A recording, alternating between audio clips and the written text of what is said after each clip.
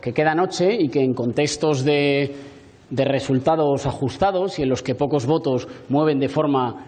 muy importante los equilibrios y una diferencia de pocos votos puede mover de forma importante los escaños, tenemos que decir que, que queda noche y que, por tanto, estamos a la espera y haremos la valoración, hará Pablo la valoración definitiva cuando estén los resultados definitivos y confirmados. A la espera de que estén los resultados definitivos y confirmados, si se confirmaran los que están arrojando los primeros resultados eh, ya con este escrutinio, que ya creo que se acerca al 65, al 70%, tenemos que decir que estos no son unos buenos resultados. Estos resultados no son los resultados que esperábamos, creemos que no son un buen resultado para la confluencia Unidos Podemos y creemos también que no son un buen resultado para España, en la medida en que retrasan un proceso de cambio político que en nuestro país comenzó con el 15 de mayo del 2011 y que entendemos que es irreversible. Nosotros hemos demostrado que nuestro espacio político se consolida, que tenemos una posición determinante y que va a ser decisiva en el futuro de nuestro país para el cambio político, pero que en ocasiones los procesos de cambio político no se dan ni de forma lineal ni a la velocidad que nos gustaría. Insisto en que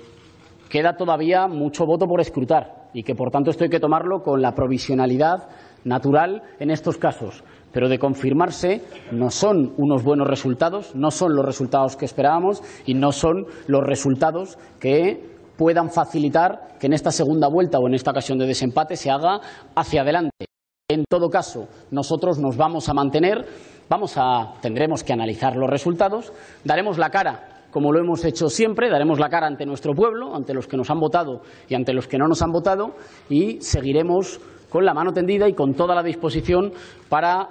que pueda conformarse un gobierno de progreso, que pueda comenzar a revertir las políticas injustas e ineficaces del Partido Popular de confirmarse estos resultados, no lo podríamos hacer ni con la fuerza ni con la velocidad que esperábamos. Pero ese es un proceso que en España se ha abierto y que no tiene vuelta atrás, como creo que demuestra el que hayamos ratificado, mantenido y solidificado un espacio político que en España ha venido, que en España ha venido para quedarse.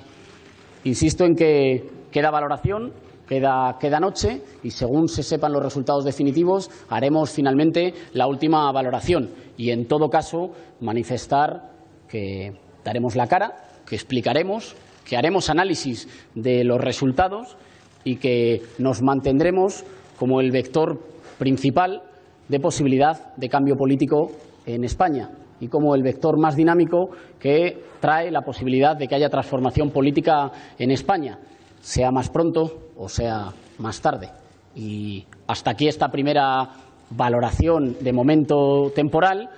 Queda un poco de escrutinio todavía. Cuando se termine, compareceremos y, por palabras de, por boca de, Pablo Iglesias, nuestro candidato a presidente del Gobierno, haremos finalmente la valoración, la valoración definitiva de la noche y de los resultados y de nuestra lectura de los resultados y lo que implican políticamente.